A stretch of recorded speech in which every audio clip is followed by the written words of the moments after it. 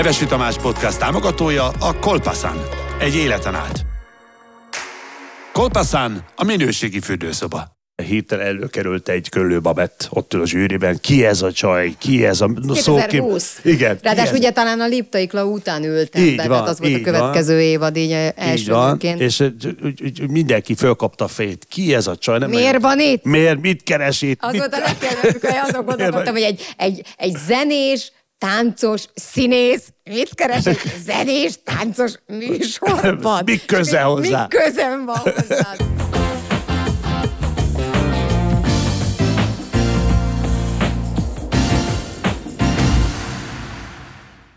Mai vendégemet hetente láthatjuk a televízió képernyőjén, most éppen csiszolatlan gyémántok útját egyengette a TV2 Starban Star leszek című műsorában.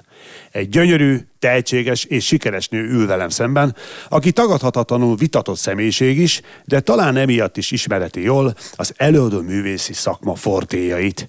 A mai adásban Köllő Babettel fogok beszélgetni, körbejárni a tehetségkutatók küldetését. Hát nagy szeretettel köszöntelek itt nálam. Szia Babett, örülök, hogy eljöttél. Tetszik a stúdió. Tényleg? Igen, abszolút, ez eh, gyerekkoromat idézi. Hát igen, ez egy kicsit, fi, direkt is törekedtünk a Jó. kicsit a retrora is, meg kicsit művészi is legyen, kicsit ilyen legyen, kicsit olyan legyen, és nagyon, nagyon hálás vagyok, hogy elfogadtad a meghívásomat, hiszen eh, hát izgalmas személyiségnek tartalak. Ó, köszönöm. Ugye, És most a végére kiderül, hogy mégse tudod. És akkor bejött, állat izgalmas, és a, mm. nem, nem, ez bizt, ebben biztos vagyok, hogy nem. Um, sok mindent olvastam rólad, és sőt, videókat is néztem. Ajaj. Vigyázz, vigyázz, Ajaj. felkészülten érkeztem. Uh, például, hát nagyon cuki voltál. Uh, talán egy általános iskolás felvétel volt, így egy közös táncos produkció. Te voltál egyedül a csaj, és mögötted hat Ó, az a Grease-ből volt Az talán az. egy, egy részlet. Mindig Azaz. táncoltam már gyerekként is. Azaz, fi- és a tudom, mi a poén? Hogy felismerhető vagy. Tehát teljesen a, az arcvonásaid, meg stb. nagyon-nagyon olyan, mint ma vagy. Tehát nyilván mi gyerekként, igen. És Az egy jó néz- időszakom volt egyébként, később volt egy mély repülésem így külsőleg, tehát középiskolában néztem ki nagyon rosszul szerintem. Az mit jelent? Hát én, én azt, hogy kifejezetten ronda voltam. Na. De, de, de, de, de, de, de, hogy ezt így utólag látja az ember, akkor valószínűleg azt gondoltam, hogy oké, okay, nem sok pasi nézett rám akkor tájt, Mhm. uh-huh. és, és utána elkezdtem így tudatosan figyelni, hogy minden ember életében van egy ilyen mélypont külsőleg. Tehát ikertesomnál például a nyolcadik osztályban nézett ki nagyjából úgy, mint A a, Scooby, Rolandnál? a Rolandnál, mint a Scooby-Dooba a bozóta a főszereplő srác, tehát Rolcsi úgy nézett ki, és hogy neki az volt a mélypontja, egyébként előtte is, meg utána is gyönyörű volt, szerintem, és hogy nekem a középiskola volt a mélypont, tehát hogy egyáltalán nem, nem voltam jó csaj, nagyon nem. Nagyon nem. És nyilván a megküzdés, az, az, az a pubertás korban, az a megküzdés, ez Hát van. Képzeld el, hogy egy pici városból érkeztem Bonyhádról. Igen. Szexádon születtél, Szexádon születtem, Bonyhádon nőttem fel, és Pécs, ugye középiskola nekem, most így csapunk, de hogy most így hirtelen eszembe jutott a, a csúnya külső kapcsolatban a középiskolai éveim, hogy, hogy, át, hogy bekerültem Pécsre ebbe az iskolába, és hogy csomó budapesti osztálytársam volt Debreceni, tehát nagyvárosokból érkeztek, Mhm. És én ott nagyon, nagyon ö, vidéki kislánynak éreztem Tényleg? magam. Tehát, hogy nem öltöztem divatosan, tehát, hogy a többiek sokkal menőbbek voltak, uh-huh. nem is néztem ki jól, nagy kerek fejem volt. Tehát van egy-két fotóm, és majd megpróbálom egyszer visszakeresni, mert hogy nagyon szívesen megmutatom egyébként bárkinek, hogy lássák, hogy, hogy, hogy mindenkinek az életében vannak nagy Miből lettél? időszakok. Hát nem tudom, hát miből Persze. lettem. Ja. Ez most talán azért jobb. Aha. Uh, annyit uh, tudok rólad még, hogy a testvéreidre nagyon büszke vagy. Igen. Ugye van a másik testvéred, aki ugye kint él Egyesült Államokban, róla egy kicsit azért mesélj. Merséről? Merséről. Merse 31 éves, uh-huh. 16 éves koláig élt itthon, amíg anyu egyszer csak poénból regisztrált a zöld kártyalóton, Igen, ezt és, olvastam. és ugye nyertek. Én is regisztráltam egy ilyenre, csak én nem nyer- nyertem. Nem? Nem, én- hát- anya azt mondja, hogy rengeteg ismerőse van kin Amerikában, Aki ugyanígy? nyertek. Aha, Aha. igen. Csak a kedves nézőknek mondom el, meg hallgatóknak, hogy volt az Egyesült Államok meghirdetett ilyen le, zöld kártya programot. Ilyen évente talán tízezret, vagy igen. nem tudom, talán jó számot mondok. Lehetett regisztrálni, ki. és kisorsoltak. Én azt hittem, hogy ez kamu.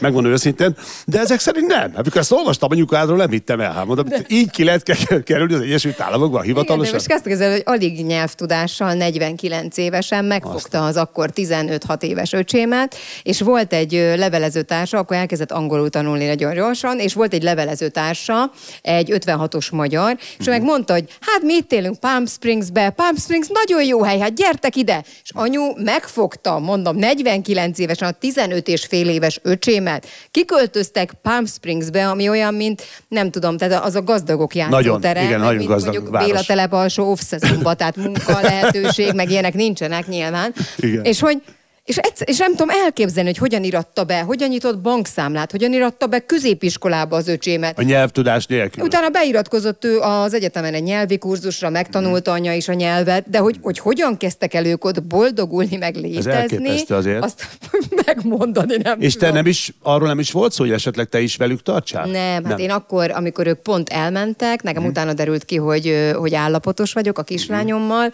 hmm. és, és nem, hát Merj nagyot álmodni, persze, de azért vannak határok nyilván. Tehát, hogy a, az én legnagyobb álmaim, azok pont a, arra felé húztak és tartottak, ahol most vagyok, vagy amilyen irányba mm, vette az élet, tehát amilyen útat most járok. De hogy az, hogy Los Angelesben, most azt képzeljétek el, csak szám szerint, meg a nézők is, hogy naponta Értsd és jó, naponta 3000 ember érkezik Los Angelesbe azért, hogy színész legyen. Uh, Napi nap. 3000. Sok esélye van egy... angol tudással. Ja, igen. A, tehát, hogy, Semmi esélye hogy, nincs. Igen, igen, tehát, igen. Hogy, Hú. Nem, nem, nem. Igen, nem, igen. Azért mindig mondják, hogy nagyot álmodj, de azért jó. legyen realitása. Tehát a, a, az édesapád édesanyján ugye elváltak, igen. és akkor a Bonyhádon maradt ugye a Roland, Aha, tesód, meg apa is meg apukád, még igen, napig, igen, és szerencsére nagyon jó kapcsolatot ápoltok vele. Én mindenkivel. Hál' ez nagyon jó család, ilyen szempont nagyon jó családmodell, hogy azért ketté mentek sajnos a szüleid, de, de mégis megmaradt igen, ez a fajta kötődés. beszélni, hogy van még egy fél testvérem, egy lánytesom, uh-huh. róla azért ritkán, tehát hogy egy, tehát tartjuk a kapcsolatot folyamatosan, neki is van két kis gyerkőce, úgyhogy mi végül is nagyon sokan vagyunk. Azt a... De ezt te szereted is, ezt a, ezt a családi, ezt a nagy falka, hogy együtt lenni. Én ezt imádom. Én és ezt és imádom. Azt, azt is olvastam, hogy, hogy ilyen szempontból kicsit bánt is, hogy elég keveset tudtok találkozni, hiszen nagyon messze vannak nyilván a anyukád és a mercse. Tehát, hogy évente nagyjából egyszer, egyszer. tudtok találkozni. Most voltatok valami tíz... Egyszer három hét. Vagy három hét, így igen, volt. Igen, Ez igen, egy kis igen. kirándulás, és végre együtt lehettetek. Hát ez mindig jó, de hát azért strapás. Tehát, hogy azt, hogy most anya itthon töltött három hetet, az nálunk gyakorlatilag, tehát hogy ő mind, nyilván minden pillanatot meg akar élni, ami teljesen természetes, de hogy jött velem élősróba. Mentünk meglátogatni a rokonokat, hogy Gyoma Endrődön. Én közben ott egy picikét még dolgoztam, és mert előadásom volt. Tehát 5-6 órákat aludtam, és egyébként végig dolgoztam, úgy, ahogy szoktam a napokat, és anyu jött velem. És akkor tudom, hogy az volt, hogy hónap vége, október vége, és akkor a kislányom kitalálta, hogy tökfaragás. És mondom, anyu mondta, hogy jó, akkor üljenek le tököt faragni. És mondom, egy pillanat, mindjárt jövök én, és csak egy hadd üljek le egy öt percre, csak egy picikét hadd üljek le, és anyu mondta, hogy hát látom, nem veszed ki a részed a tökfaragásból, és mondom, anya, kérlek, csak adj, nekem egy öt percet. Hát én is fáradt vagyok, mondom, értem, anya, biztos vagyok benne, hogy te is fáradt, öt perc. És még meghívta az egész családot folyamatosan hozzánk, úgyhogy ikertesomékkal együtt voltunk, ami azt jelentette, hogy én úgy mentem be élőadásokra, hogy így letettem a fakanalat, beraktam az edényt középre a lábost, hogy akkor na, jó étvágyat, és mondom, hogy tudjátok, hogy most már elmegyek pihenni a munkahelyemre, mert annyira fáradtóak vagytok. Adom, ezt teljesen előttem. De mi mindig 30-an vagyunk, rengetegen ünnepekor De imádsz főzni, ugye? Azt vagy... nem tudom.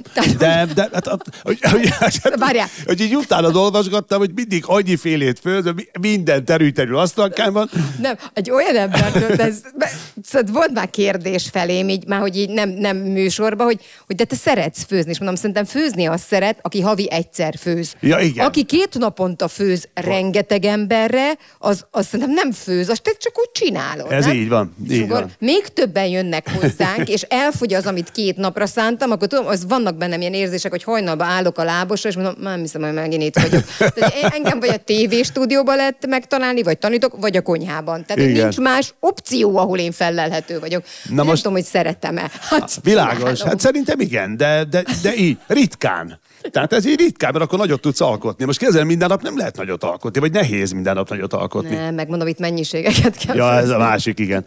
A, egészen pontosan a családodtól, ugye gyerekkorodban megkaptad-e azt a támogatást, hogy te elindulj azon a pályán, ami, ahol most tartasz, és szerencsére most látható ez a gyönyörű ív, amit, el, amit be, be, bejártál és be, be, betöltesz. Ők tudták, hogy nekem ez a vágyam, és ez az Igen? álmom. Anya azt mondta, hogy három évesen azt mondtam, hogy színésznő szeretnék lenni. Három évesen? Igen, hogy Aztán. az még 82 bonyhád. Hát ez, hogy ez ho- honnan jött? És akkor nyilván ilyenkor mindig vannak ilyen családi vonatkozások, hogy nem tudom, apu dédének az unokatesója volt a Blahalúza, és akkor na ez biztos onnan jön vissza a családból, mondom, de Aha. hogy jön onnan vissza, nem, nem tudom, hogy hogy jött ez. Mm-hmm.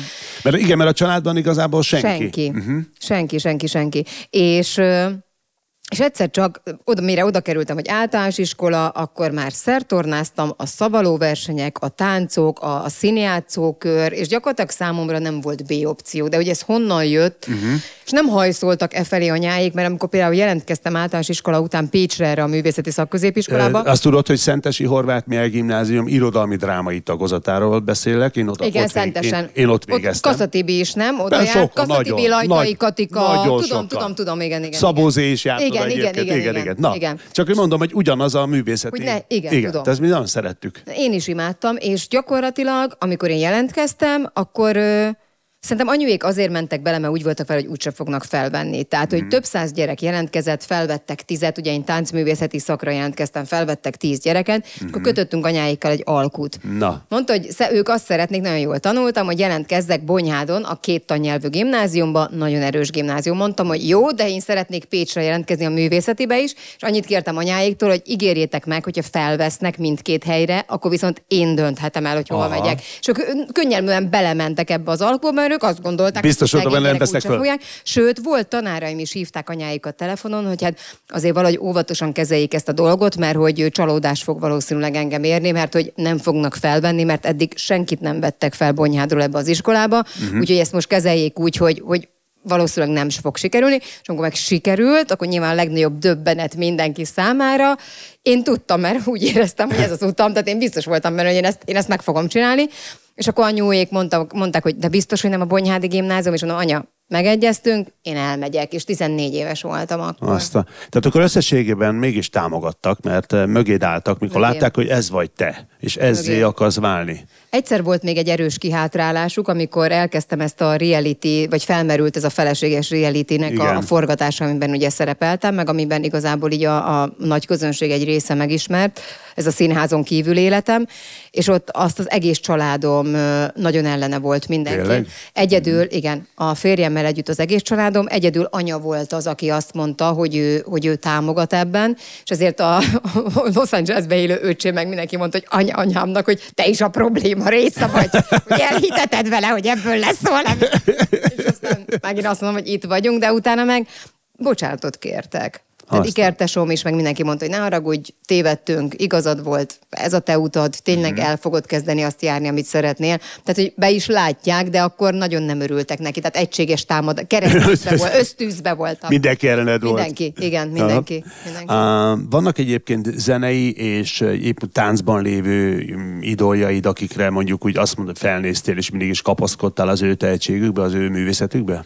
Nem, ilyen nincsen. nincsen. Tehát, hogy nem másokat próbáltam Nagyon követni. Helyes. Nagyon sok mindenkit néztem a színpadon, az mm. gyakorlatilag, ahogy én elkezdtem tanulni, ott nagyon hamar rájöttem arra valahogy ösztönösen, aztán ebbe több barátnőm is megerősített, hogy ha valakire szeretnék, vagy ha valakit szeretem, vagy szeretek a művészetét, ezt elkezdtem figyelni, hogy hogy csinálja másképp. Tehát, ha valaki egy sikeres ember, akkor azt elkezdett figyelni, az emberek nagy része nem, az emberek nagy része elkezd köpködni, hogy hű, mert, Persze, mert, mert, mert, igen, igen, igen, hogy ő miért úgy él, meg miért az van, meg mi, igen, miért ő. Igen. Én nem így csináltam, hanem elkezdtem figyelni, hogy, hogy mit csinál másképp. És rengeteg emberrel voltam így, a műsorvezetők között is, a Tillától elkezdve, a, a Liptai Klaudinát, a, a Majoros Petéig, a színpadon a, az Oszvald Marikától, a, a Kalocsai Zsuzsék, tehát hogy mitől tud ez jól működni. Uh-huh. És van egy barátnőm, azt nagyon büszke vagyok rá, mert tényleg egy, egy semmiből indult Erdélyből, és egy, egy nagyon gazdag nővé lett, és saját kétkezi munkából érte el mindezt. Ezt ne, és, kevesen hiszik igen, el, de, de, ez, de ez abszolút így van, de hogy nála az van, hogyha két óra alvás van, két óra alvás van. Tehát amíg munka van addig, amíg biznisz van, addig biznisz van. És És ő mondta ezt egyszer, és utána rájöttem, hogy én ugyanígy csináltam, hogy hogyha látott egy sikeresebb embert, ugyanez volt benne is, hogy, hogy mit csinál másképp, uh-huh. és én Mhm. azt hogyan tudnám saját magam számára hasznosítani és levenni, és a mai napig így vagyok vele. Uh-huh, uh-huh. A mai nap. Ez nagyon-nagyon fontos információ, amit most mondtál. Én is ezt gondolom. Tehát, hogy nem, ne, ne irigykedj, hanem hogy nézd meg, hogy mit csinál. Még, még maximálisan. Nézd meg, mit csinál, Így és, van. és vedd át. És elkezd működni egyszerűen. Egyszerűen azt, azt érzékeltem, amikor először láttalak, és ugye utána olvastam, már akkor, hogy több filmben is szerepeltél. Uh, például már volt vendégem Herendi Gábor, Herendi Igen. Igen. valamelyik a kettőben is ugye ott is voltál. Igen. Akkor, Az örömlány karakter, azt az a kon- kontrollból indult, és úgy maradtam az örömlány igen, karakterben. igen, tő- sok filmben szerepeltél, több filmben, hál' Istennek, és, és az, hogy legutolsó mm, dolog pedig ugye 2021-ben már saját könyvben jelentkeztél, ami egy igazából egy nagyon komoly motivációs könyv, ugye? Igen, Mondhatom én ezt így? tanítom is fiataloknak. Uh-huh. Tehát, hogy én tanítok a TV2 Akadémián Igen, is, meg a, tudom. meg a Talentbe is, és én fiataloknak tanítok, de ez valószínűleg onnan indult, hogy a kislányom egy nagyon kétkedő, uh-huh. és nagyon kevés önbizalommal rendelkező csajszika volt. Uh-huh. Most sem az van, hogy túltenk benne, tehát, hogy nem túl sok, de már legalább elhiszi, hogy képes dolgokra. Ő introvertált inkább? Igen, inkább apukája. Uh-huh. És a, az óvodába például képzeld el, hogy két évig azt hitték, hogy néma, mert nem szólalt meg. Azt a... Tehát mi innen indultunk. Hát Most, Innen most ha indultunk. téged valaki megismer, és mit, mit vár a lányától? Úgyhogy nekem nagyon sok, nagyon sok feladatot fejlesztettem ki, nagyon sok feladatnak olvastam utána, hogy hogyan lehet önbizalmat építeni. Mhm. Uh-huh. És tulajdonképpen ez a kis könyv, nem nevezném könyvnek, ez a kis füzetke is pont erről szól. És amikor megkerestek ezzel kapcsolatban, hogy csináljunk egy ilyet, hogy írjak egy ilyet, mondtam, hogy de na, megint jött a kétkedőt, ami szintén bennem is bennem van egyébként, csak én jól leplezem, hogy mondom, de biztos, hát mondom, olyan embereknek kell könyvet írni, akik, akiknek akik mögött egy nagyon hosszú életút áll, és van mit mondaniuk, és ennek, hogy figyelj, nem, azt mondja, hidd el, babát, hogy a, a fiataloknak nagyon nagy szüksége van támaszra. Kapaszkodókra. Sokkal Így van. kevesebbet foglalkoznak velük mostanában, mint például az én gyerekkoromban tették, mert egyszerűen a szülőknek sajnos nincs rá idejük. Két-három munkahely mellett rohannak, hullafáradtak, és pont, pont a gyerekre nem jut idő. És, és, én, és én ezt tapasztalom tanítás közben is, és ez, ez az egész erről szól, hogy hogyan adjunk nekik támpontot, uh-huh. és hogy, hogy hogyan higgyék el azt, hogy ők ők jók, uh-huh. hogy ők sikeresek tudnak lenni, és hogy ez csak és kizárólag rajtuk múlik, de elsősorban legyenek boldogok, és a gyerekemnek is ezt tanítom. Nagyon, nagyon érdekes a kérdés jutott eszembe, hogyha mondjuk a lányod most eléd állna, és azt mondja, anya, én is szeretnék egy ilyen tehetségkutatóban elindulni. Mit szólnál hozzá? Megkérdezném, hogy milyen területen. Először azt mondanám neki, hogy énekelni ne kezdj el kicsikén. Tehát, hogy ezzel megkérdezném, hogy, hogy, hogy milyen területen. Másodjára meg azt mondanám neki, hogy akkor, ha nagyon szeretnék, akkor ezt is kezdjünk el felkészülni rá, mert ugye ez, ez egy csomó esetben szerintem így kimarad. De figyelj, én tök reálisan látom a gyerekemet. Uh-huh. Tehát tudom, hogy nagyon sok szülő nem így van vele, és mindenkinek a sajátja persze a legszebb, a legokosabb, a, legbo- a leg, leg, leg, leg, leg, leg, de hogy én azért két lábbal állok a földön, és én, és én pontosan látom, hogy, hogy mik az erősségei. Szigorú és mik vagy a... egyébként? Mm, nagyon érdekes, hogy a férjem a szigorúbb, de nem célra vezető szerintem, az, amit ő csinál. Lehet, hogy régen az volt, de már nem. Ha Én majd egy- ő ezt meghallgatja, ezt a beszélgetést. Tudja ő is, tudja ja, ő is szerintem. Oké. Tehát, hogy szoktunk erről beszélgetni. Én sokkal megengedőbb vagyok. Ö, Mhm. uh-huh. Nagyon tágak nálam a határok, amik, ameddig el lehet menni, viszont azt tudja, hogy a nem nálam egy végleges nem. Mhm, Uh-huh. Tehát, és pont ezért hallgat rám. Tehát, amikor mondjuk hazaérek este fél tízkor, és azt hallom Andrástól, hogy mert még nem jött le a szobájából, mert még nem vacsorázott, mert a barátnőivel beszél, és már nyolcszor szóltam neki, akkor én fölmegyek a szobához, így kinyitom az ajtót, így ránézek, igen, anya, és már pakor össze is jön. Tehát, Aha, Szerintem jó az út, amin nagyon, igen. vagyunk, vagy jár. És Igen. nem, hogy Andrással nem, tehát, hogy mindig kell szerintem egy jó zsarú, rossz zsarú. Most azt az időszakát érjen, mert apa hibája, 13 és fél éves, most éppen Igen. apa hibája. Majd Hát elképesztő, néztem a fotókat, ahol hihetetlen megindult. Tehát most ugye most van a, ugye a serdülőkorban. Igen. Akkor, mint én. Hát igen. Tehát, hogy 166 centi. e- eszméletlen. Ugye láttam egy két évvel ezelőtti képet, még szó szerint egy kislány volt, jól mondom? De belül még mindig az. Hát jó, hát nyilván. De ez, ne, ez nem, ez nem baj. Ebbe a korba már nem Szerintem ez a nyilván, jó. sok esetben, viszont én nagyon örülök neki, hogy, Én hogy, is. hogy, ny, ny, hogy még nagyon kislány. Nagyon, igen is. Um, azt is tudom, hogy ugye mondtad is, hogy gyerekkorodban voltak ez testképzavar, hogy nem voltál magaddal megelégedve. Igen. De várja, ismersz olyan nőt, aki igen? Mm, ha azt mondod, hogy igen, akkor... Várjál csak, gondolok, kinézek a szerkesztőre. Meg vagy magaddal elégedve, bébi. Ő sincs, ő sincs, ő sincs. Tehát, hogy nincs ilyen nincs szerintem. Ilyen. Tehát olyan nincs, aki száz százalékig, csak ugye nem mindegy, hogy ez mikor, mikor történik az ember mm. életében, hogy ez már egészen gyermek. Neked ugye eléggé korán már elindult ez.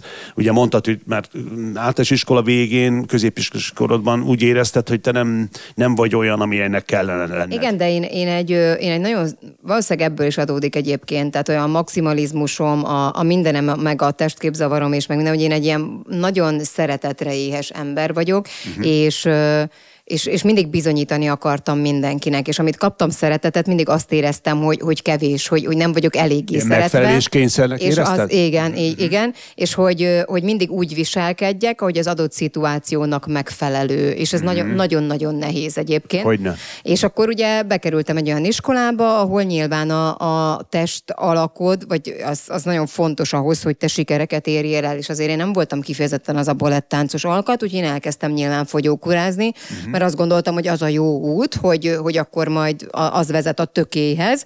És aztán egyszer csak azt vettem észre, hogy már ilyen magas voltam, mint most 160 cent, és 39 kiló voltam. Uh, az az akkor már úgy kétségbejtó volt, és anyáik nagyon jól helytáltak ebben az egészben. Anorexia.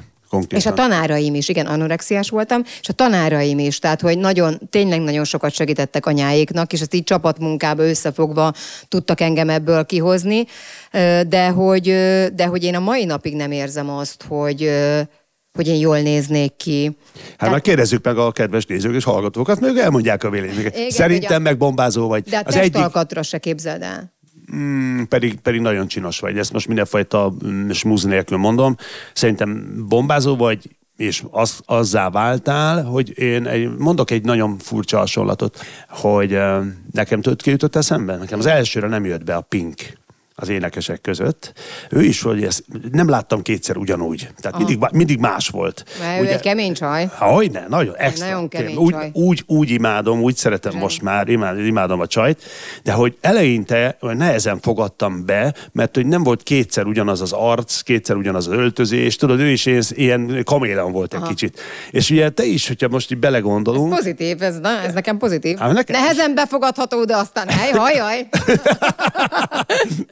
Nem, és hát, igen, é, bocsánat, és akkor azt, az, az, az, azt vettem észre, hogy annyi mindenben, amiben benne voltál, és amiben belefogtál, összességében mindenhol elérted azt a sikert, ami, amire számítottál. Így látom kívülről. Jól látom ezt? Én azt gondolom, hogy hát még nem értem el, uh-huh. de hogy... Majd erről beszélünk. De ugye. a felé megyek, uh-huh. de hát én, küzd, én nagy küzdős vagyok. Uh-huh. Tehát, hogy nem mondom azt, hogy nem értek csalódások. Rengeteg csalódásért, rengetegszer kerültem padlóra, amit én általában úgy szoktam orvosolni, hogy hagyok magamnak két-három nap önsajnálati napot, uh-huh. akkor kísírom magam, zokogok mindenhol, a fürdőkáttól elkezdve az autóig, mindenhol zokogok, majd utána egy megrázom magam, és akkor azt mondom, hogy jó, elég, befejeztük, talpra állsz, mész tovább, mert igenis helyed van, és utad utad van ezen, és hogy ez a, ez a te utad, és ezt tesz boldoggá. De látszik ez a kemény, keménység is benne, de nagyon, olyan, olyan érdekes ilyen kettő személyiség vagy egy kicsit. Ezt anyai ág, szóval hogy ezt Igen. a női ágról hozom Igen. a családból, nálunk az nagyon erős a női ág, és, és nagyon kemény csajok voltak. Édesanyád is ilyen? Anyu is erős, de nálam még erősebb volt szerintem az apai nagyanyám, uh-huh. ő, nagyon, tehát hogy ő, ő túlélt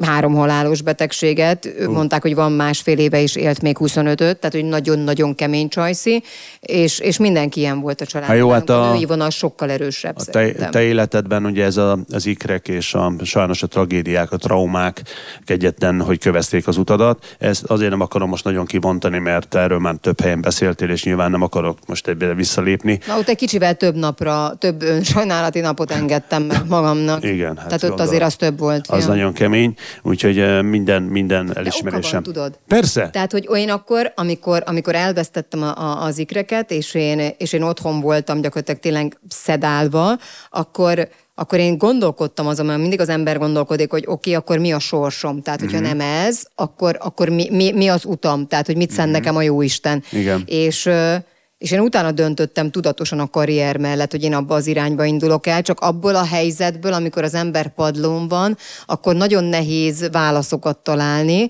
hogy, hogy, hogy ezt miért kaptam, és aztán utólag visszatekintve már nyilván próbálsz rá, meg, meg, meg rávilágít az élet több dologra, hogy, hogy, hogy, hogy mi a te utad, de nagyon nehéz volt elfogadni. Hát Tehát vannak döntések, amiket nagyon nehez, nehéz elfogadni szerintem, és ut- abban a szituációban nyilván nem is tudod. Igen. Ugye először, mikor a mm, zsűribe ültél, Aha. ez ugye egy nagy váltás volt, ugye hirtelen előkerült egy köllő babett ott ül a zsűriben, ki ez a csaj, ki ez a no, szó ki... 2020. Igen, Ráadásul ez? ugye talán a Liptai Kla után ültem Így be, van, az volt a így következő van. évad, így Így első van, és úgy, úgy, úgy, mindenki fölkapta a fejét. Ki ez a csaj? Nem Miért nagyon- van itt? Miért? Mit keres itt? Az mit... volt a legkedvesebb, amikor azon gondolkodtam, hogy egy, egy, egy zenés, táncos, színész, mit keres egy zenés, táncos műsorban? Mi köze hozzá? Mi közem van hozzá? Tehát nyilván az emberek jó része ezt nem tudta. Persze. Az operettekről, az darabokról, a színházról, semmiről. Na, de hát ott gyakorlatilag oda datálódik, úgy durván három évvel ezelőtt, ugye egyszer, 2020 igen. Igen, azért mondom, durván három évvel ezelőtt, hogy beültél a zsűribe, és egyszer csak lett egy országnak egy köllő babett, egy ilyen millió kérdőjellel, hogy ez a csaj honnan jött, honnan reppen, Hát, ki ez az UFO? Ide lett. ide, ide lett rakva. Igen, igen. Na és nagyon fontos, hogy um, hogy a zsűriben, ugye ez egy mindig kérdés, hogy igazából ez egy tehetségkutató, vagy tehetségmutató. Uh-huh. Mert ugye megmutatjuk a tehetségeket a televíziónak igazából, a vizualitás a lényege. Ti pedig a zsűri, pedig megpróbáljátok őket ugye mentorként, vagy zsűritagként segíteni, formálni, és ugye ez egy nagyon komoly szakmai kihívás, ezen kívül meg egy nagyon komoly felelősséggel jár, hogy mit mondok az én mentoráltamnak, az én versenyzőmnek. Szerintem ebben nagyon-nagyon sokat változott ez a műsor, mert régebben csak zsűrizés volt. Igen. Ugye most már mentorálás van, sőt, most már más a rendszer is, izgalmassá lett téve. Egyébként nézem hétről hétre, ugye miattad is nyilván természetesen, fel, hogy, és, és ugye az extravagáns ruháid, amik vannak, azok ugye... És hát a- Márknak köszönhetően. Igen, Márk hát a Márkot zseni. innen is- Márk zseni. innen is Puszi, üdvözöljük, puszjuk, pusziljuk. szeretjük, és köszönöm néha a kedves bájos üzeneteket, amit. Nem, tehát nehéz befogadni nyilván azt az irányt, amit ő, ő mutat. Hogyne. És, Művészet. Művészet, nekem azt nehéz befogadni inkább, hogy például volt egy, egy csodálatos madárkás ruhám, Igen. amikor szenté avatták, akkor következő héten meg már mégsem. Igen, hogy- a kígyók miatt. Az, igen, ahogy így változik a hullámzó ugye a, a közvélemény. Tehát, Persze. hogy így nem, nem összességében látunk dolgokat, Ah. vagy látnak dolgokat. Szerintem nagyon tehetséges versenyzőid vannak, és uh, én bízom benne, hogy az életben is majd, amikor vége lesz a versenynek, hiszen nagyon fontos, hogy a mentorok követik-e az ő pályájukat utána, vagy vége, megszakadt az elő, vége az adásnak, aztán mindenki megy, te mész jobbra, ők mennek balra. Van-e utána utóélete ennek a mentoráltságnak? Ebből a szempontból szerintem mindegyikünk más. Én nálam van. Én most nyilván téged Igen, kérdezem. én nálam, mindegyikünk más amúgy. Én nálam abszolút van, tehát hogy én, én követem, én a mai napig gyakorlatilag minden versenyzőmet, talán egyet kivéve nem, de hogy ő valahogy nem is igényli meg más irányba Mhm. ment el, de, de például ott volt nekem az első, amiben én beültem Starban, Star leszekben az első évadonban, 2021-ben az, a Szakács Sziszike, aki akkor a legjobb női előadó, hát a Csiszár Pistivel álltak ott, Igen. én Sziszikém akkor még csak 17, 16 éves volt, és ő például a Rácz Gerivel rép fel folyamatosan, hogy az Orsovai Reninek mellett a váltója, vagy együtt lépnek fel. Tehát neki 17 évesen már, mint parkos koncert, tehát előzenekarként parkkoncert, most is végigkoncertezi, az, most az előbb írt egyébként, jön be hozzám a stúdióba, nálam alszik, hogyha éppen olyanja van, hogy magányosnak érzi magát, és így vannak a többi versenyző is. Tehát, hogy, hogy én, én úgy Te érzem, őket, és igen, mert hogy őket. Én, én befogadom őket. Tehát uh-huh. én, én nem tudok, ha valakinek segítek az életben, akármilyen területen, én nem tudok attól az embertől távolságot tartani. Én, én megnyitom saját magamat, a házunkat, a családunkat, és befogadjuk. Kvázi családtag lesz. Uh-huh. És az nem lehet azt mondani, hogy jó, akkor december 10-én vége van a műsornak, szia, köszöntem szépen, viszontlátásra. Tehát én, én nem tudok így De van működni. ilyen is, azt tudod? Persze, persze, de Ezért- hogy én nem tudok így Igen. működni. Hál' Istennek, akkor te követed az ő pályákat, és segíted őket. meg segítek, persze. Persze. És a tanácssal fordul, tanácsért fordulnak hozzá, De akkor... nem csak tanács, vagy. a fellépő ruháktól elkezdve. Tényleg? A, persze, persze, persze, már, mi, én már mindenen túl vagyok. Akkor tehát, én hogy- értem, egyszer csak az egy, egyik mentoráltanom meglérnék a, a galambos ruhát, meg a, meg a kígyós. Nem, de volt, akinek már vettem, hogy olyanba menjen fellépni meg. Tehát én, én minden téren segítem őket. Mennyire érzed a... Ugye most már ketten vagytok. Ugye két csaj van a zsűriben, eddig ugye korábban mindig csak egy hölgy Igen, volt, igen, három, igen, igen, három igen. férfi, és ö, ugye tudjuk jól, azért ezt kimondhatjuk, hogy a nők közötti rivalizálás, illetve a nők közötti ö, kapcsolat az nem pont olyan, mint két fiú közötti kapcsolat. Ráadásul ugye kimondhatjuk, hogy a nőket mindig nehezebben fogadják el, azért ez egy állandó küzdelem. Igen. Ö, Lásd a cégvezetésekben sokkal kevesebb, mint mindig a nő a világon. Hát ez minden területre talán Így van, érthető. így van. Tehát, hogy én viszont azt látom, hogy a Gabival nagyon jól ö, működtök együtt. Meglepő, azt akartam, pont azon gondolkodtam, hogy arra fogsz így futni, hogy a nők rivalizálnak, akkor mi de mondom, mi nem rivalizálunk. Nem, ti nem. Sőt, erősítjük Így egymást. van, pontosan. De várjál, én minden téren ezt gondolom, tehát, Mhm. mm. hogy, hogy én, én, én, ha látok egy gyönyörű és tehetséges nőt, az engem inspirál. De jó, tehát, ez hogy, egy jó hogy, tulajdonság, nagyon. Ah, hú, tehát, hogy, hogy bennem a féltékenység szikrája sincs meg, de nem a, tehát, hogy, hogy én boldog vagyok. Meg ráadásul én azt Ez látszik észre- is, ez- á, ez lejön egyébként. Az a bajom, hogy azt veszem észre a világban, hogyha nézem csak a komment szekciót, akkor főkép, amiket mi kapunk negatív kommenteket, az általában nőtől érkezik, és általában idősebb nőtől érkezik. és ö, Mhm, Aki nincs jobb, jóban önmagával, valószínűleg. soha nem tudhatjuk meg, mert De ugye nem ismerjük. Igen. És hogy nekem ez például nagyon-nagyon nagy szívfájdalmam, hogy én azt érzem, hogy a pasik sokkal jobban összetartanak, és nekem baráti köröm belül is van egy ilyen inspiráló nős köröm, tehát amiben Mhm. a Demcsák Zsuzsitól kezdve az Ivon barátnő még, a Margaret barátnő még mindenki benne van, tehát hogy sikeres, boldog nők, és hogy mi erősítjük és támogatjuk egymást és más nőket. És Mhm. hogy valószínűleg a Gabival is mi azért vagyunk ennyire jól meg, mert hogy közös a cél. Tehát, hogy mi Mhm. nagyon szeretnénk azt, hogy nő nyerjen mondjuk adott esetben egy ilyen versenyben, mert nem csak, hogy nekünk van nehezebb helyzetünk, de női versenyzőt is nehezebben fogadnak el, mert hogy gondoljatok bele. Tényleg? hát- Így hát érzed? nem, általában nők szavaznak. Tehát, hogy egy pasi nézi a műsort. Igen. Többségében egy pasi azért nem tölti le az applikációt, hogy na akkor szavazzunk a nem tudom kire, a nagy Alexára, hanem egy pasi élvezi, szórakozik, jókat rötyög rajta. Tetszik neki. Egy nő szavaz, inkább szavaz, ez bizonyított, tehát inkább a nő szavaz. Értem, ez És igaz. ezért nyernek általában férfiak ilyen műsorokba, mert, Mhm. ö, mert amúgy meg pasira szavaz, és nagyon, Mhm. nagyon sokáig volt az, mi próbáltunk figyelni mondjuk arra, amikor például pont a Szakács Sziszivel, hogy 16 éves, hogyan öltöztessük fel egy műsorban, nem mutassunk túl, túl sokat, Jogos. mert azt a típusú nőt viszont elfogadják, aki mondjuk ez az unokatípus, ez a cuki, kedves, aranyos. Mhm. A dögös szexi nőt Ja, nem. Nem fogadják ez- be. Hát gondolom, e- ezzel te szembesülsz nap, mint nap. Egyre kevésbé, de van egy réteg, és pont, pont igen, a, ez a réteg az, aki, akinél még úgy időnként falakba ütközöm, de de aztán lehet, hogy, hogy el kell engednem egy idő után, és, és elfogadni azt, hogy nem mindenki szerethet, és ezzel nincs is az ég egyött a világon semmi gond. Én ilyen vagyok. Egyébként azt érzem, hogy önazonos vagyok. Maximálisan. És próbálok segíteni másokon, próbálok úgy élni, hogy ha nem is segítesz, legalább ne bánts másokat, és amúgy sem tudok azonosulni azokkal a fajta ö, hozzászólásokkal, vagy azokkal a fajta értékrendekkel, amiben adott esetben szembesülök, vagy ez szembe jön, úgyhogy teljesen jó így. Tehát, hogy valószínűleg ezzel a csoporttal nem vagyunk, ö, uh-huh. nem vagyunk paliba egymással. Képzeld el, hogy uh, akármerre járok, és uh, és egy van, mondjuk van ilyen focis társaságom, mondjuk úgy, csak azért, mert a Roland, ugye, a, Igen. ugye a tesód is ugye foci és edző és minden, Pakson ugye most Igen, dolgozik. igen, igen, igen. Uh, ott a focinál mindig szoktunk beszélgetni, foci előtt is, foci után is. Pasik csajos dolgokról?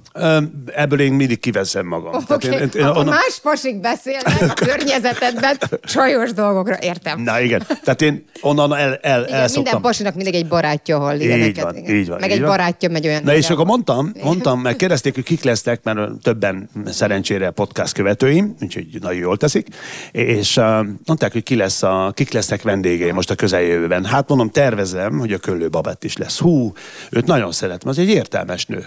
Na, Képzeld, Ó. ilyet mondott rólad az egyik, egyik focista haverom. Yeah! Na! Megmentett egy ember!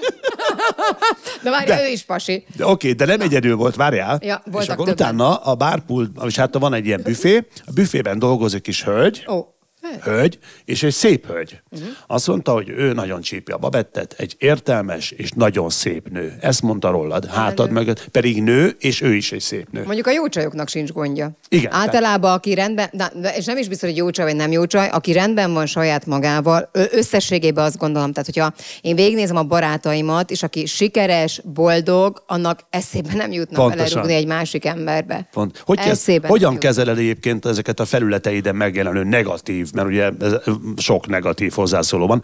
Egyből töltír, Egyre tilt- kevesebb amúgy, de én Töröl, tilt, tiltom. töröl, tilt. A, a saját oldalamon tiltom. De azért tiltom, mert hogy ö, nekünk otthon, tehát hogy nem ez a, a kommunikációnk, tehát hogy nem azt mondom, hogy néha nem csúszik ki egy káromkodás, de nem ez a szeretett nyelvünk, és nem használom kötőszóként. Tehát, hogy gyakorlatilag mi nem így kommunikálunk otthon, nem is nagyon lehet veszekedni is a férjemmel. Tehát, hogy nem, nem, nem ez, nem ez Hát a de család normális vagyunk. család, hál' Isten. Igen, hogy pont a gyerekem beszélgetett, milyen visszacsatolok a suliba, és akkor beszélgettek arról, hogy kinél kivitatkozik otthon, hogy anyukája veszekedős, vagy apukája. És mindenki elmondta majd a gyerekem, hogy azt mondja, nálunk nem veszekszik senki. és, ez, és ez tényleg így van. Igen. És hogy, és hogy, tehát, hogy azért tiltom ki, mert az én oldalam az olyan, mint az én házam. Tehát a Pontosan. saját házamba se engednék be egy vadidegen, hogy azt mondja, hogy Egyébként meg ocsmány volt ez a ruha, ami rajtad volt, és te... Tehát, hogy én ezeket így... Nagyon Ne, helyes. ez nem az én, ez az ő saját magának a dolga, nem az enyém. Én, Meg az ő fájdalma. meg az ő, igen. Ez ő fájdalma. Konkrétan azok szoktak általában negatív kritikát megfogalmazni, akiknek valószínűleg a sikeres élet az nem jött össze, vagy kicsúszott a sín. De ezért mondom, hogy a barátaim, akik sikeresek és Azok boldogok, eszükbe nem Így jut. van. Ez így van. eszükbe nem jut. Tehát egy idő után már van, hogy van egy olyan tehát, hogy van egy olyan, olyan lépés, vagy egy olyan, amikor megnézem, tehát volt egy, megnéztem mondjuk, hogy ki írt, és ugye elkezdtem sajnálni inkább. Ez igen, igen. Szerinted a, a, a te életpályád, ahol most tartasz, hoz a sikereidhez ö, mit tett hozzá, melyik lépés, melyik vállalásod, melyik film, vagy zene, vagy tánc, ami, ami a legnagyobb lökött a népszerűségedem? Hát nyilván a feleséges Mhm. sorozat. Tehát ez, ez, ö, az, az abszolút kiverte a biztosítékot. De, hogy, de várjál, én erre nem számítottam, meg mi sem számítottunk, Mhm. és valószínűleg most így e- ezzel a fejjel, meg múltal, most már meg nem tudom hány műsorral a hátam mögött, így ősz, és azon gondolkozom, hogy de tényleg nem számítottál erre, és tényleg nem számítottam, Mhm. és egyikünk sem, de az ott, ott meg utált egy csomó ember minket, azt nem lehet ezt mondani. Nem pont ezt vártam. De várjál, akkor már az egy érzés, meg egy érzelem. Hmm. Tehát, hogy ott is volt egy réteg, tehát aki egy nagyon erős értelmiségi bázisa a műsornak, aki ezt kellő humorral fogta fel, és nagyon jól szórakozott rajta, aminek egyébként szánva lett valószínűleg ez az egész műsor. És volt egy réteg, aki ezt nem így fogta fel, egyébként azokkal is teljes mértékben egyetértek, és nekem onnan úgy voltam vele, hogy oké, okay, akkor most már úgy egy páran ismernek, akkor nekem most innen kell egy nagyot fordítanom. De Mhm. aztán onnantól kezdve ez már nagyon tudatos lépések voltak számomra, de hogyha a legnagyobb dobbantóról beszélünk az életembe, akkor az valószínűleg az lökött fel egy, Mhm. egy magasabb szintre. Ö, és ha most újra ö, nem tartanál most itt, ahol most Aha. vagy, és újra megkeresnének, ugyanúgy bevállalnád? Be. Aha, tehát akkor ez, ez bejött akkor Hát ez sose a... fogok hazudni. Nyilván volt egy csomó ö, negatív ö, ö, ne, egy csomó negatív dolog, amit, amit kiváltott, meg negatív hatása az Persze. életemre. A népszerűségnek mindig ez van. Persze, kaptam egy csodálatos refluxot, tehát hogy van- vannak azért hozadékai, ami nem, nem túl pozitív, de hogy de hazudnék, hogyha azt mondanám, hogy, hogy nem ezzel indultam el. Mhm. Uh-huh. Oké, okay, utána a rengeteg belefektetett munka, a szerencse, a jó időben, jó helyen, uh-huh. a, a, tehát rengeteg minden hozzájárult még, hogy én most abban a székben üljek, Persze. meg abban a pozícióban legyek, ahol, ahol most éppen vagyok, de itt nálad. De, hogy, Így van. de itt nálad, de kellett hozzá. Sok, sok meg, megkeresésed volt utána? Különböző csatornákról, különböző műsorokban? Persze, mm-hmm. persze, persze. És ott akkor szelektáltál, hogy mi az, mi az, amit bevállalsz, mi az, amit nem? Ö, először úgy éreztem, hogy mindent be kell vállalnom, ilyen jó színész módjára, tehát hogy a színész mindig azt gondolja, Igen, hogyha hogy valami nem nem, hogyha nemet mondok, akkor, Akkor a soha, soha többet többé, nem fognak igen. És képzeld el, hogy a Covid előtt volt megint egy tudatos lépésem, ugyanis uh, időnként így leülök magammal, és akkor átbeszélem, hogy most miért nem haladok abba az irányba, amiben szeretnék, vagy miért nem abban a tempóban haladok, amiben uh-huh, szeretnék, uh-huh. és akkor, hogy, hogy hol a hiba. Uh-huh. És aztán ott például rájöttem arra, hogy nagyon felaprózom magam. Uh-huh. Tehát, hogy mindent elvállalok, és mivel mindenbe belakapok rengeteg Akkor semmiben nem leszel száz százalék. így van, uh-huh. És aztán ott hoztam egy tudatos döntést, hogy jó, mit szeretnél. És rájöttem, hogy hát műsort vezetni, ilyesmi műsorokba szerepelni, mint amilyen a, a Starban Star is, sőt, egyszer nem tudom hány évvel ezelőtt azt mondtam, hogy, hogy valami olyasmit akarok. Hát mint, mint, mint ahogy Liptai Klaudia Császta barátnőim mondták. Tehát, Aha. egyébként meg hangosan kimondok és vizualizálok dolgokat, az is nagyon fontos eszközöm már egy ideje. Igen. De a lényeg, hogy, hogy a Covid-nál hoztam egy ilyen erős döntést, hogy jó, innentől kezdve csak is kizárólag azokat a megkereséseket fogom elfogadni, ami előre viszik az életemet abba az irányban, be én szeretném. Uh-huh. És jött egy csomó minden, amire nemet mondtam, majd akkor felhívtak, te, hogy Babett, nem akarsz dolgozni, és mondtam, hogy de akarok, csak má- más a célom. Ha, ha, tehát legalább hadd menjek el egy castingra, és nézzetek meg, hogy hogy működök. Uh-huh. Na, és akkor így Ez így. elindult. És Aha. a mai napig ezt próbálom tartani. Castingoltak a zsűribe? Mindenre castingolnak, Aha, minden aha. műsorra castingolnak. Oké. Nem, azért, nem azért castingolnak, mert te alkalmatlan vagy, vagy a másik Persze. alkalmasabb, hanem hogy egyáltalán ilyen helyeken, mondjuk egy zsűriben Összerakni fontos az a kémia. Hogyne. A kémia, mert Ha, van, hogyne. hogy három ember már nagyon jól működik, de jön egy negyedik, aki kioltja. Igen. Ez természetes. Tehát, hogy minden műsorra mindig casting megy. Persze. Ez így van, maximálisan. Persze, persze, persze. És mennyire érzed szakmai kihívásnak adott esetben zsűrizni és mentornak lenni ebben a műsorban? Mert azért nyilvánvalóan a, valahol... Igen, tehát hogyha én, mint énekes, mm, én lennék most egy versenyző, nekem nagyon fontos az, hogy kapaszkodjak valakibe, akinek elhiggyem. Ugye az énektanár, ugye Katika. Lajtai Kati, ugye a Szabó Anikó igen. tanítja a koreográfiát, Igen, tehát igen. azért nagyon profi Nagyon és eszközöket kapnak meg a versenyzők abban a pillanatban, hogy bekerülnek ebbe a műsorba, de nekünk minden szavunkkal szerintem nagyon finoman kell bánni. Ők amúgy is, tehát amikor bekerülnek, akkor olyan érdekes, hogy eleinte ilyen nagyon félve tekintenek ránk, tehát Persze, hogyne, tőlük, nagyon, hogy hú, igen. meg felnéznek rá. Én, én mindenkinek a versenyzőjével úgy vagyok, pont most a, a heti felkészülés előtt is beszélgettünk erről a sztár vendégekkel, hogy nekem mindenkihez van egy jó szavam, tehát mindegyiket megölelgetem. Mhm. Oldod egy kicsit Van, a- azt a fajta feszültséget. Persze, abban a pillanatban, hogy látom, hogy lelkileg, mert ez az én, én szakmám, az én szakterületem, tehát én figyelem az emberek reakcióit, és abban a pillanatban látom, hogy lelkileg nincs rendben, ha az én versenyzőm, ha nem, oda megyek hozzá, mi a baj, tudok-e segíteni, hívjál fel telefonon, Mhm. uh-huh. tartsál ki, nagyon jó vagy, menjünk előre, és mondom, nem csak a sajátom. De ez látszik is, hogy meg a zsűribe megszólalsz, azért mindig, mindig építő kritikát ö, szoktál mondani, illetőleg úgy érzem, hogy amikor örülsz, akkor tényleg őszintének látom, Igen. hogy mikor, mikor tombolsz, akkor őrülten tombolsz. Tehát, Mert, mert hogy bejönnek tényleg gyakorlatilag egy civil kis életükből. Igen. És egyszerűen művészé válhatnak ebben a Igen. műsorban, és sokan válnak is azzá. Igen, igen. És, és hogy egy mindjárt, mindjárt könyvbe, könyvbe is lábad a szemem, egyébként én ilyen bőgös csaj vagyok. Tehát, hogy, hogy azt látni amúgy, hogy, hogy, hogy egy emberke elkezdi élni a, a vágyait, az életét, és én tudom, hogy ebbe mennyi, mennyi meló van amúgy mindenkinek, kész művészeknek is, mint amilyen te vagy.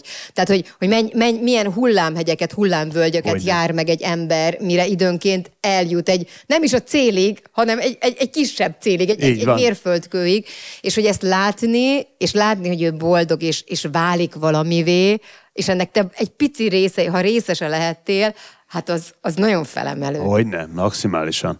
De az az igazság, hogy az a szörnyű, hogy nem csak Magyarországon, hanem az egész világban nagyon fontos, hogy valami botrányt keverni a, az ismert emberek köré. Igen, az ugye ez mindig van. ugye, mindig. Tehát, hogy Igen. ugye, Á, ez nálam is szokott lenni. persze. Állandóan, tehát mindig valami, valami botrány kell ahhoz, hogy, hogy elfogadjunk valakit az ő szakmájában. Felhív a te, látom, hogy valami újságíró már és úgy szoktam felvenni a telefont, hogy mit csináltam már megint.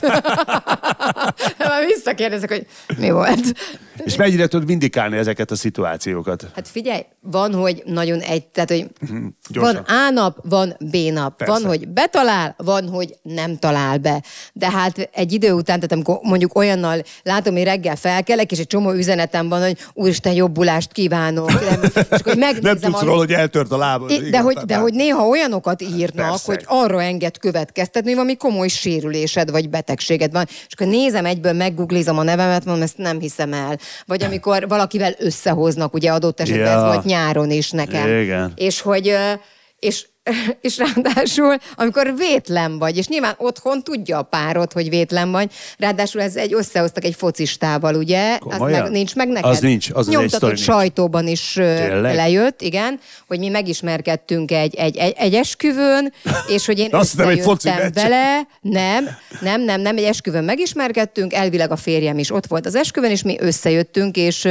és most a mostani legismertebb magyar focistáról beszélgetünk, és aki gyakorlatilag a fiam lehetne, Igen. és az egész sztoriban az volt a legszebb, hogy mindegy, mert bárki meggooglizza, látni fogja, hogy a Szoboszlai Dominikról van szó. Nyilván. Az a legszebb a sztoriban, hogy én életemben nem találkoztam a sráccal. Hát persze. Tehát még az esküvő rész, amit kitaláltak, ahol elvileg a férjem is ott volt, az sem volt igaz. És akkor így otthon nyilván te könnyen mondod azt, hogy néztem Andrásra, mondom, jó volt a buli, azt mondja, jó neked, hát mondom, na, na, nagyon jó volt. És akkor, de hogy Ez ami lett kegyetlen azért. belőle, hogy nyomtatott sajtó, stb. stb. És hogy ezt adott esetben emberek mondjuk elhiszik. Hogyne. És hogy valaki kitalál mondjuk egy, egy közösségi oldalon, vagy bárhol egy, egy teljes kamusztorit, és ezt emberek, én először mosolyogtam, mert azt gondoltam, hogy ez ki, ki hinné ezt el.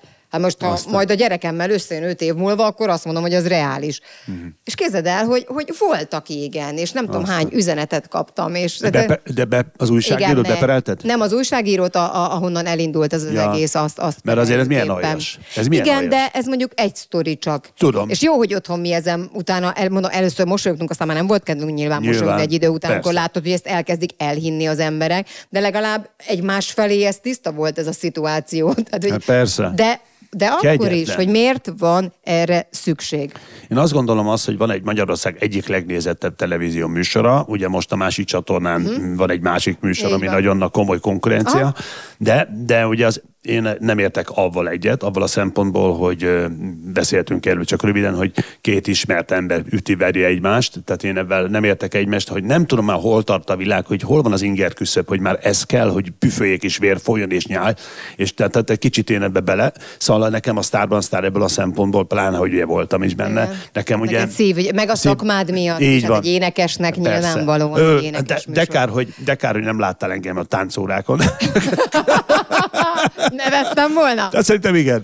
Úgyhogy, Én annyi mindent láttam már a táncórákon, tehát mi a Tasi Dávid versenyzőn nagyon messziről indultunk, és, és hogy az benne a vicc, hogy milyen te, te is fejlődtél gyönyörű tempóba, mert ő, persze, persze. Olyan tempóba fejlődik a srác is, hogy, hogy gyakorlatilag már bemegy egy táncpróbára, és elkezd úgy mozogni, ami félből jön belőle. És hogy ezt én négy hónappal ezelőtt elképzelni, nem gondoltam, mert jött a merek srác, hogy a sportban mi lesz veled, barátom. De igen, nem tudom, hogy az inger küszöb egyébként hol van. Nagyon sokat olvasok olyat, hogy, hogy milyen jó lenne, hogyha hogyha ilyen-olyan igény, olyan tartalom lenne, olyan műsor, és mondtam, hogy oké, okay, voltak régen színházi közvetítések például a tévében, csak Így van. nem nézték. Nem, így van. És ugye a, a, a kereskedelmi té- tévéknek meg nyilván az a lényege, hogy nézettséget Nézettség. generáljon, hiszen, hiszen attól működik a kereskedelmi tévé. És hogyha ezt nézik, akkor, akkor, akkor ez lesz. Ugye tudod jól, hogy mindenfajta rossz indulatú megjegyzés van kívülről a zsűrizésről, hogy rámondják a fületekre, mit kell mondjatok. Nem mondják rá. Persze, de jó, csak azért Ja. mondom, hogy, hogy mi, tudod, az ugyanaz, mint amit kitaláltak. De mindenki volna. jobban tud mindent. Persze. Mert hogy ez előre le van játszva, és így Persze. ülök, és nem, igen. ezt, nem hiszem el, igen. Előre Meg hogy nem mondja el a véleményét, nem mondhatja el, mert arról mondhatja el, akit ki akarnak ejteni, meg jönnek ezek a akármik. Egyébként, bocsáss meg, hogy visszacsatolok Igen. rá, csak hogy ha, ha meg lenne játszva, akkor a műsor elején, akik most az egy idei évadban kiestek, azok nem estek volna ki, hanem ha rajtunk múlt volna, azok az emberek a döntőben álltak Ez volna. van. Tehát több- pont több- ezzel látszik, hogy, hogy nincsen megjátszva Persze. a műsor, mert hogy mi négyen teljesen mást gondolunk adott esetben, mint a nézők. Sőt, még az is tetszik, hogy sokszor egymással ellentétes a véleményetek valamelyik előadó. De ez lesz. szubjektív. Ez na, pontosan. Ez nagyon fontos, hogy legyen ütközés, mert ugye te mást látsz valakiben, De, mást meg, láthatsz. szub, meg mást is szeretek.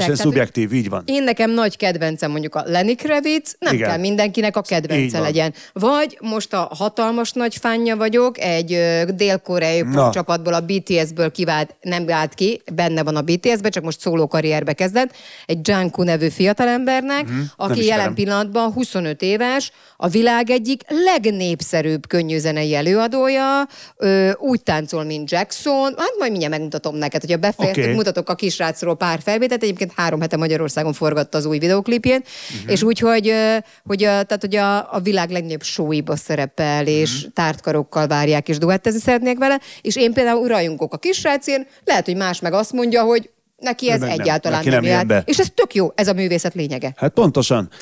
És hát az egész ugye a, az internet világát éljük, nem is már nagyon régóta, hogy belegondolsz, egy mai fiatal, bárki fiú vagy lány, azt mondja 13 évesen, hogy látja a példaképeket, látja a nagy sztárokat. Mm. Nyilvánvaló, hogy kapaszkodási pont, ő is azzá akar válni, pláne, hogyha az osztályfőnöke, vagy a barátnője, vagy bárki azt mondta, hogy te tök jól énekelsz, nem mész el.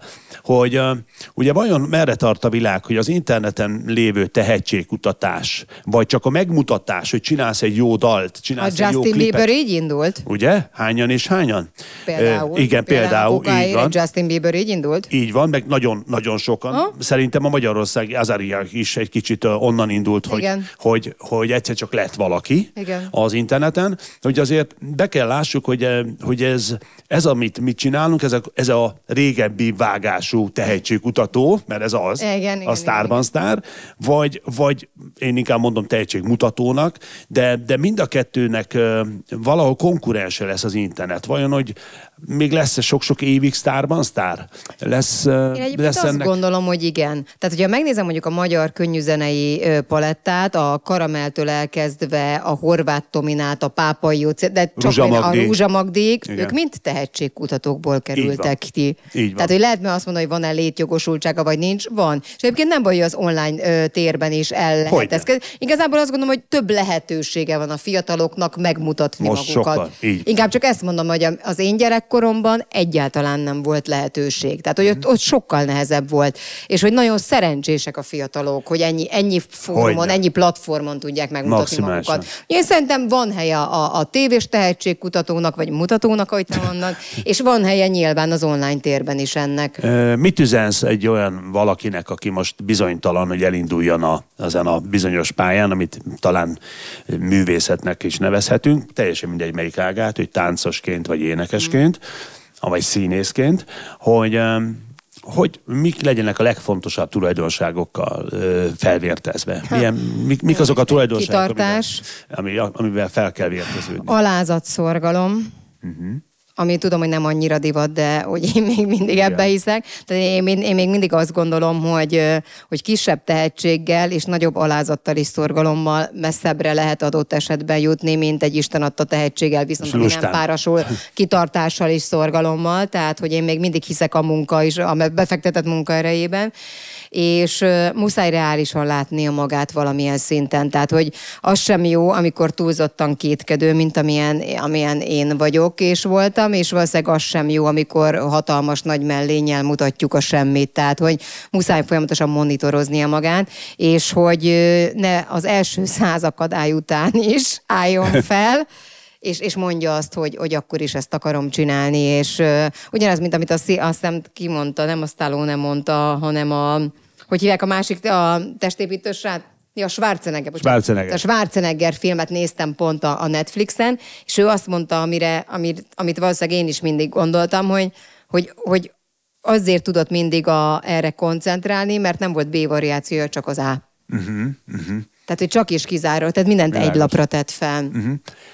Mondtad, hogy már azért itt a beszélgetésünk vége felé, hogy már úgy nagyjából um, úton vagy a céljaid felé, de nyilván vannak újabb céljaid. Na, erről egy kicsit beavatnál bennünket. Hát nyilván a műsorvezetés az, egy, egy saját Igen? műsor, az mm. akár egy, figyelj, én 0-24-ben ilyen párkapcsolati sztorikba vagyok, tehát hogy mindenkit én coachingolok, hallgatok, tehát akár egy valami párkapcsolati jellegű műsorral is. Rajzolódik ilyesmi egyébként? Mm, nem tudom, rajzolódnak dolgok, de aztán majd kiderül, hogy mi rajzolódik végül leginkább, de hogy, hogy az már nagy vágyam, és nagyon sokat tanultam, és készültem az elmúlt időszakban is, úgyhogy, úgyhogy nagyon azt érzem, hogy, hogy ez már bennem van, és, és nem azért, nem, a, nem olyan érdekes, hogy hogy nem a magam, magam mutogatásért, tehát hogy sok embert látok, aki lehetőséget kap, és pusztán tetszeleg a lehetőség fényében. Én a munkámat szeretem. Uh-huh. Én rajongok a munkámért, és talán ez érződik is. Ez Legalábbis nagyon remélem, hogy érződik. Maximálisan. Úgyhogy, úgyhogy valami ilyesmi irányba szeretnék elmenni, és várom alázatosan a sorban a helyemet. hogy még, még meg lesz, meg lesz, meg lesz. Um, nagyon érdekes a, a neved, itt a végén, a beszélgetés végén, hogy megengedsz egy-két ilyen, ilyen humorosnak tűnő Persze. felvetést, és akkor reagálj Persze. rá. Jó? Persze. Tehát, hogy ha mondjuk külföldön lennél, és azt mondanák rólad, hogy a színpadon küllő babett. Mondtam volna, hogy ez már volt. Külön, ez már, már persze, volt? voltam már költő balett is. Az az, ez lett való következő. A költő balett, a azt nem értettem, hogy az hogy jött össze. Azt, azt nem Mi volt még? Hát nyílt, voltam Bori, tehát volt olyan rendezőm, aki nyilván minden B betűs névre így rámozdultam, hogy akkor az én lettet Baget Babetta. Ja, odaába ugye volt igen, a, a Babe, igen, a igen, meg a Babetta, igen. és akkor én volt, nyilván a Babetta volt. De hogy minden B betűs névre hallgattam már egy idő után. De volt olyan is, hogy régen volt ez a, nem a mostani kártyás személyigazolvány, hanem még a, még a, a lakozós, nekem igen. még volt olyan, és akkor nem tudom, rendőr igazoltatásnál igazoltat a rendőr úr, és aki kinyitja, és mondja, hogy nos, kedves Ber Bernadett így felolvasta, és hát nem az, és megkérdeztem, hogy ezt hol olvasta, hogy figyelj, szétszette a kocsit utána nyilvánvalóan, mert megmertem kézni, hogy ezt hol olvastam. Persze. Csak így kicsúszott belőlem, hogy ez mi, hol. Tehát, hogy voltam már minden. Okay. Ez, a, ez a babett, ez egy ilyen nehezen feldolgozható dolog. Igen, de egyébként tűnik. családodban a nevek, ugye? Ilyen Merse. Merse. Ő például Amerikában azt nem tudják mondani, hogy ez Mörs. Mörs Koló. Uh-huh. Ő Mörs. Aha. Érdekes. Igen. Igen, nem is, nem is hallottam még korábban ezt a nevet egyébként. Hát Szinyei Mersénél, csak Úgy, igen. vezetéknévnek igen, viszik, közben igen. meg egy gyönyörű közben, magyar igen, név, így van. fantasztikus igen. a Merse. Úgyhogy hát először is um, azt kell mondanom, hogy egy a végtelen színes egyéniséget véltem felfedezni, e, mielőtt megismerkedtünk. Most, hogy eljöttél, most már, most már a, kipipálom, hogy az vagy. Várjál. És, és nagyon-nagyon, nagyon-nagyon köszönöm, hogy vagy nekünk. Nagyon szépen ne köszönöm. mert sírni fogok, hogyha ilyeneket mondasz. Hát akkor sírjunk. Na, hogy nagyon szépen köszönöm, hogy vagy nekünk, és a, ezt a fajta ambíciót, ezt a fajta kisugárzást, ezt a fajta szakmaiságot és elhivatottságot kívánom minden olyan embernek, aki ezen a pályán el akar indulni, bármelyiken, amit teszel és csinálsz. Kedves nézők, kedves hallgatók, Köllő Babet volt a vendégem, és Hevesi Tamás podcastját láttátok és hallottátok, és ha tetszett a beszélgetés, iratkozzatok fel minél többen. Köszönöm szépen, viszontlátásra!